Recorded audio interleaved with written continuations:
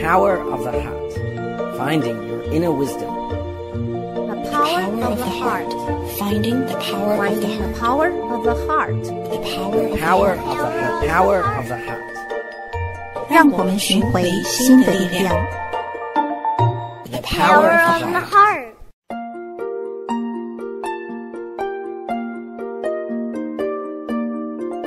Thank you for joining us today. You are tuning in to the Power of the Heart on Da'ai Radio. My name is Yu Ru. And recently on BBC Asia News, I have read that Chi is being described as Taiwan's New Age Buddhists. Let me read to you what they wrote. Sorting through a large pile of used clothes and household items, Xiao Shou Zhu is the picture of a New Age Buddhist. The 63 year old retiree used to practice her religion by praying at temples, but now she volunteers seven days a week at a recycling center to raise funds for Taiwan's Buddhist association called Chi. She said, I have no time to go to temples. Praying is not as important. Coming here every day is like praying, says Miss Xiao. This is not how most people practice Buddhism in Chinese speaking or even non Chinese speaking Buddhist societies. Their faith is usually self focused, praying for protection in their current life and to be born into a better life after they die. But Taiwan is leading a quiet and yet powerful movement that has turned traditional Buddhism on its head, converting many Buddhists such as. Xiao into doers, not just believers. Burning paper money and incense is discouraged. It is bad for the environment. Going to temple is low priority. Even praying too much is frowned up on. The focus now is on what the Taiwanese call humanistic Buddhism, caring for others and for society. It returns Buddhists to the core principles of Buddhism speaking good words, thinking good thoughts, and doing good deeds. Chi Foundation, which is at the vanguard of the moment, volunteers in Taiwan are seen everywhere in their trademark blue shirts and white trousers. They recycle plastic bottles to raise charity funds, check on elderly people living alone, providing support to poor and at-risk families, tutor children, and help response to natural disasters. What makes Taiwanese Buddhism unique is its strong emphasis on helping society. Chi, for example, has provided post-disaster relief in more than 84 countries, including in the Philippines, where it recently paid 50,000 households to rebuild their home destroyed by Typhoon Haiyan. Dian Dongyuan, a Chi spokesman, said, From the beginning, Buddha taught people to help those who are suffering without conditions and not to want anything in return. Taiwan is also helping mainland China recovering the religion. Although Buddhism has nearly 2,000 years of history in China, it has diminished in importance in recent centuries because of war, political turmoil, and suppression, and a focus on modernization. Millions of Chinese listen to Taiwanese Dharma masters teaching on DVD or MP3s. They download material from website and spread them online. Back at the Taipei Recycling Center, more bags of used clothes arrive for Ms. Xiao to sort. She said putting Buddhism's teaching to practice has given her the strength to cope with her mother's sudden death and help her improve her relationships with her children. It opens up the knot in my heart, Ms. Xiao said. Her advice to other Buddhists don't just believe in Buddhism, do something to help others. That is what BBC Asia News recently reported about Chi and its Buddhism practice.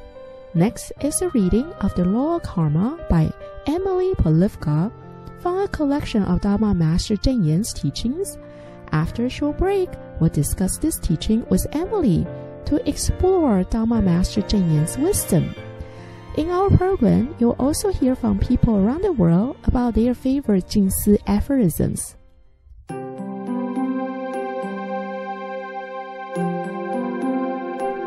Hello everyone, my name is Emily Polivka. I'm from Hualien, Taiwan.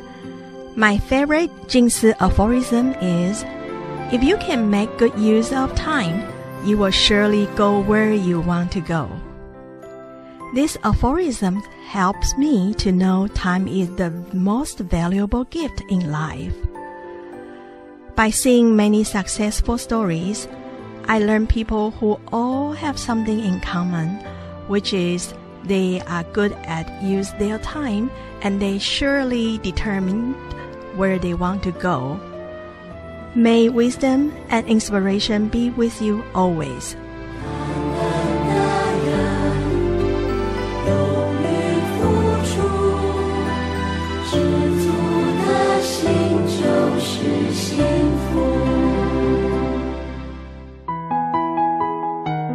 Finding your inner wisdom, finding the power of the heart.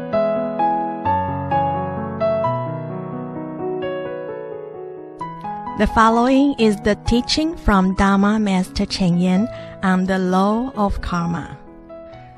The Buddha came into the world to teach and guide people to awaken to life's truth. One of his most important teachings is the law of karma. Though we do not feel, feel it or see it, karma governs our everyday life. Many years ago, a designer came to see me. There was a matter he was very afflicted and confused about. He used to work for a big company and had helped this company make good profits with his designs. Since many of his designs sold well, he decided to strike out on his own. After leaving the company, he designed a new product which he felt was one of his best. But after manufacturing it and putting it on the market, the product was not well received. He ended up losing all of his savings and went into debt. What was he to do? He approached his former boss to see if the company would be interested in buying the patent from him.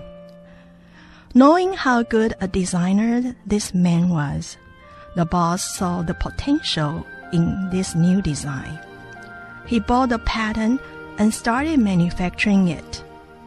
The product did very well on the market and made the boss a handsome profit. It was the same product, but the outcome was entirely different. The designer could not make sense of this. He was so troubled by it that he could not eat or sleep. Why had he lost so much money while his former boss earned so much selling this very same thing? That was how the designer came to see me. I shared with him the idea of karma. Whether we succeed in our endeavors depends on whether we have created positive karma and formed positively formed positive karma karmic affinities with others.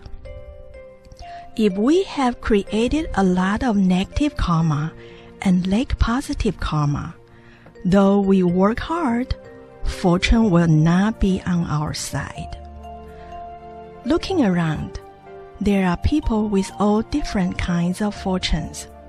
Some are born into poor families, but through their diligent efforts, they are able to pull themselves out of po- po- poverty. Others are caught in lives of hardship, with one misfortune after another befalling them.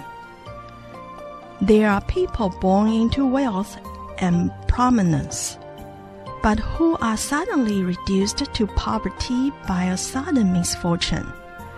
There are also cases of people who go out with friends and encounter an accident that leaves them permanently disabled. Had they stayed home that day, they could have avoided the accident. Such twists and turns in life are the workings of karma. How our life turns out is often beyond our control, and the workings of karma are truly unfathomable. The Buddha tells us that every action we take creates karma. Positive karma is created when we do good deeds that benefit people, and when people benefit from our help. We form good affinities with them. Negative karma is created when we do harmful things and we form bad affinities with those we affect.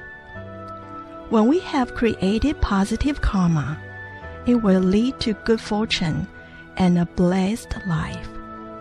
Negative karma will lead to misfortune and suffering. This is a natural law. However, most of us are usually not aware of the influence of karma on our lives. The Buddha wants to teach us about the law of karma so that we can create a better life. In our past lives, we have done numerous deeds, both good and bad. Good deeds create positive karma, and bad ones create negative karma. Together, the positive and negative karma create the ups and downs in our life. Karma means that we reap what we sow. But it is often difficult for us to understand how this plays out because different karma ripens at different times. When we create karma, we store a karmic seed in our consciousness. This seed can come to fruition in our present life, our next life, or in another future life. For example, there may be people who do bad things but who still enjoy good fortune. It seems as if we don't experience retribution for the bad things they have done. However, their good fortune actually comes from the positive karma they have created in their past lives. It's not that their bad deeds do not create negative karma. Rather, the negative karma they are creating in this life has yet to ripen and come into effect. All of us create a mix of both positive and negative karma. Both of these ripen across lifetimes and will one day bear their fruits. When our karma comes to fruition, it's impossible to avoid it. The only way that we can attempt to avoid it is to understand the law of karma and not create negative karma in the first place. Once we have planted a karmic seed, it will eventually bear fruit, no matter how long it lays dormant and in our consciousness no matter how long it lays dormant in our consciousness. No matter how long it lays dormant in our consciousness. Our karma also does not ever change its characteristics. Although our negative and positive karma are mixed together in our consciousness. The positive karma will still lead to good. The negative, karma, the negative will still result in retribution. Positive karma will not give rise to retribution, nor negative karma to good fortune. Fruition will take place in time, whether in this present life, in our next life, or in a future life. Karmic seeds will not disappear however long ago they were created we should understand this. The time when our karma ripens may vary, but its fruition will eventually come. The Buddha wants people to realize how karma works. Positive karma begets, begets. Positive karma begets good fortune. Negative karma begets misfortune. Once we understand this principle, we will know how to conduct ourselves so that our actions create positive instead of negative karma.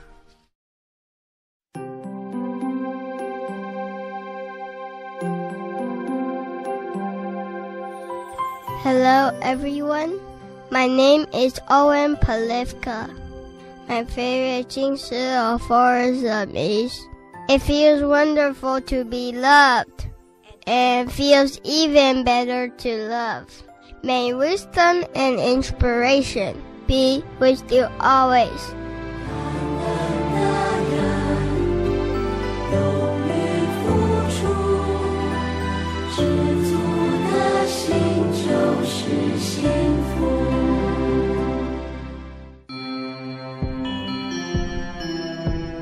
You are listening to the power of the heart.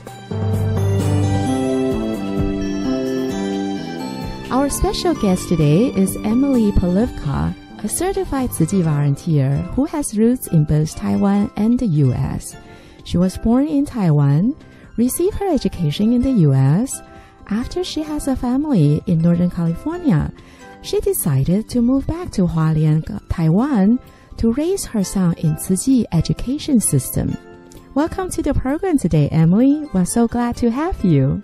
Thank you, Yu- Yuru, for inviting me. First, um, we'd like to know, let's start from the very beginning. What bring you to Chi? How did you meet up with Chi? I think it's back to 1995. I just moved to Northern California in San Jose.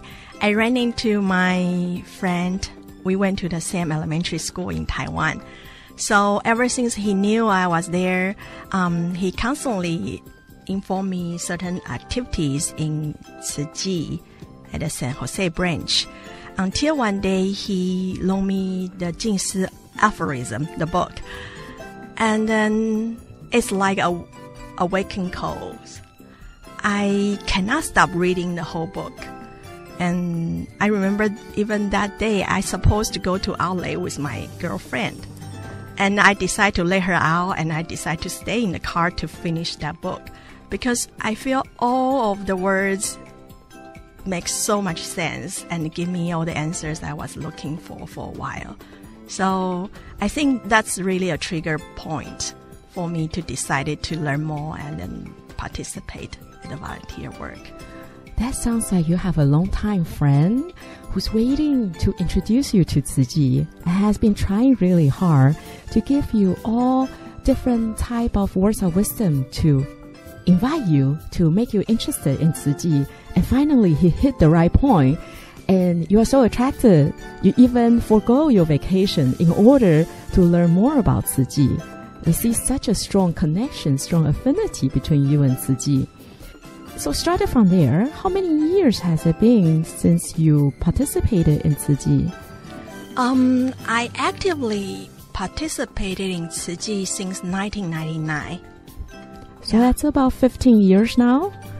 Yeah, you can say that. Wow, we have a very experienced certified Tzu volunteer here with us. And you have listened to Master's teaching and you understand that uh, one of the key core value that Master taught a lot about is the law of karma.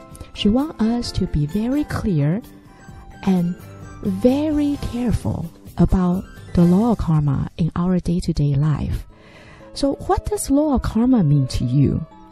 Comparing to the law of karma, I think it's just like the law in every country, um, except the law in each country is visible, it's in writing, and then there's a specific consequences. For example, if you violate the law, you either pay fines or go to jail.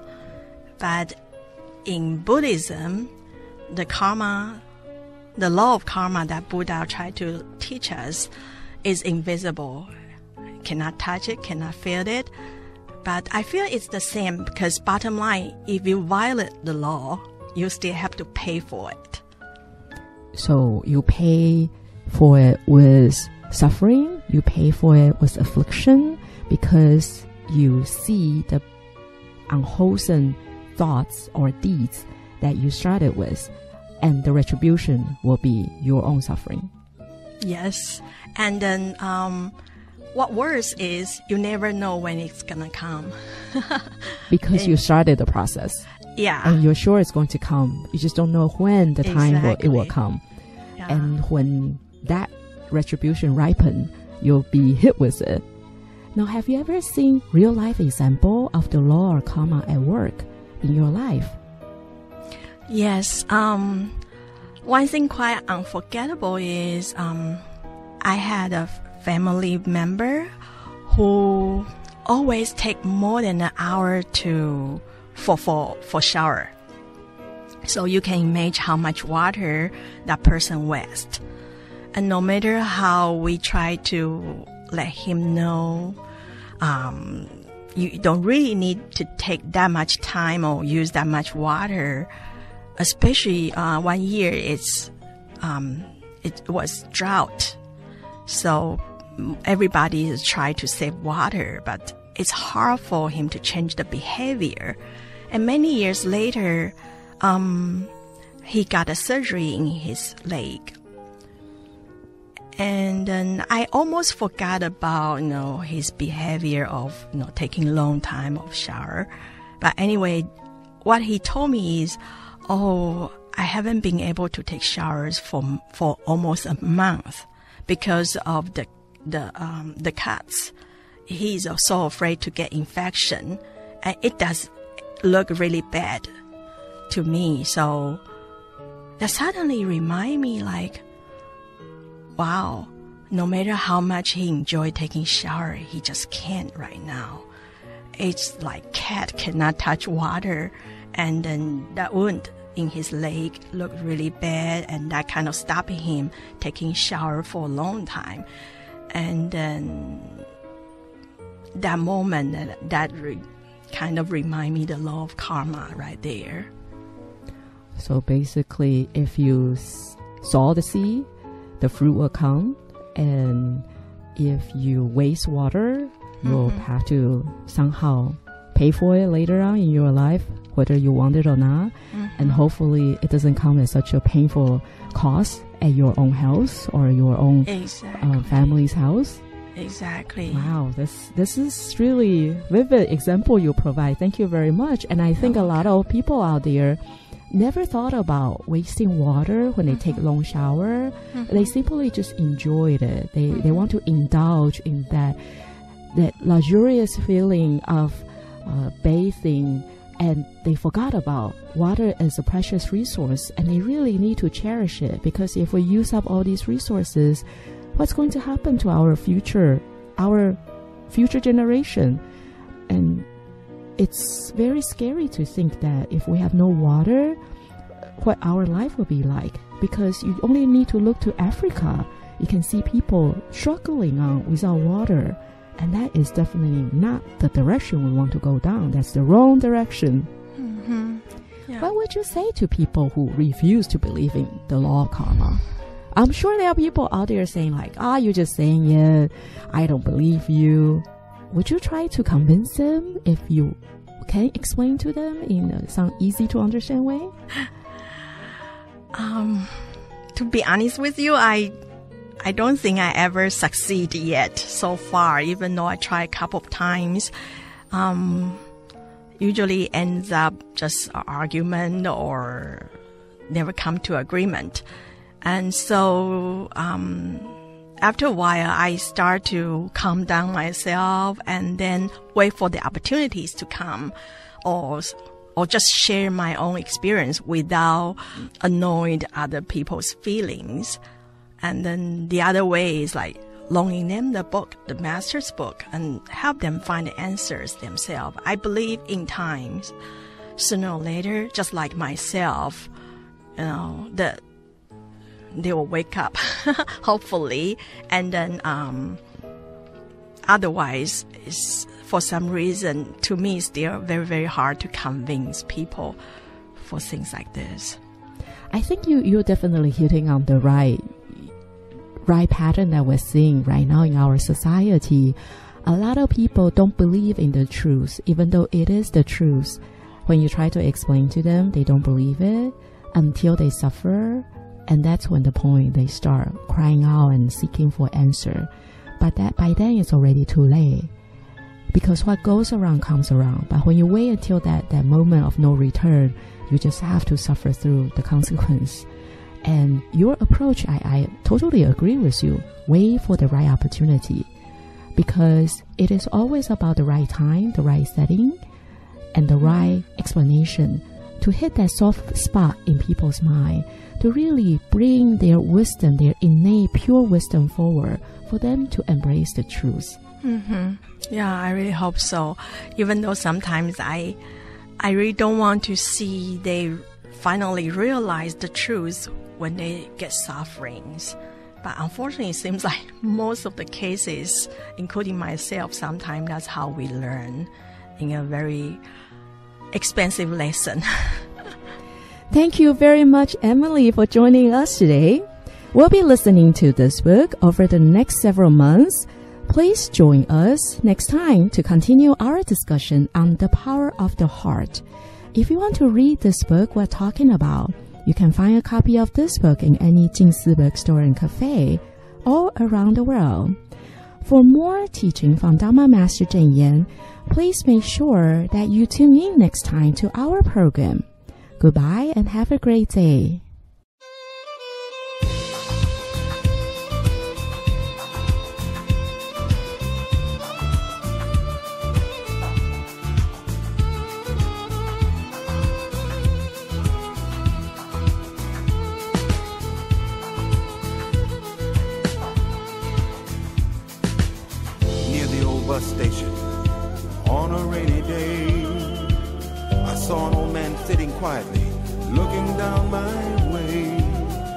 Shall I go? I asked.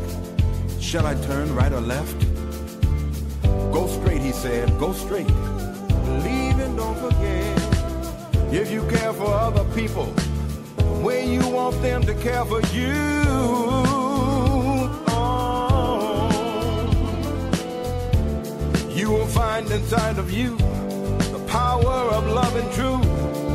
Love and truth.